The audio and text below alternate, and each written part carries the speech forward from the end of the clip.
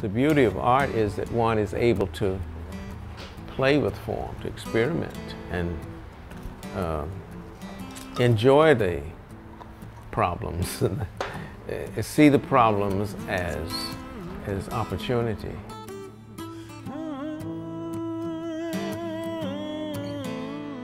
As long as I can destroy it, start all over, Georges Rouault, the French painter, he would um, do things and to so many other people it looked wonderful.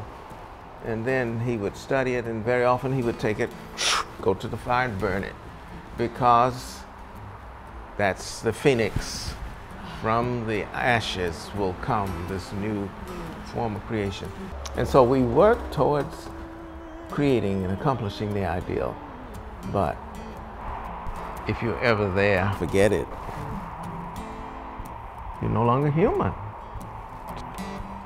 That's why, you know, the artists in all forms, dancer, writer, poet, sculptor, painter, should be working until his or her dying day because they're in search of the truth.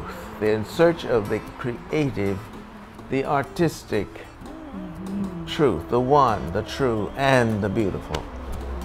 So very often I will print, a, do a little woodcut that I know I'm not going to keep.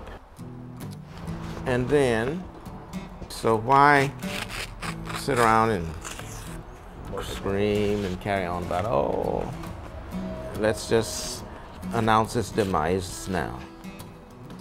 And what does it become? It becomes the phoenix. It has, it from the ashes, it arises again and it becomes the chair. The zebra chair.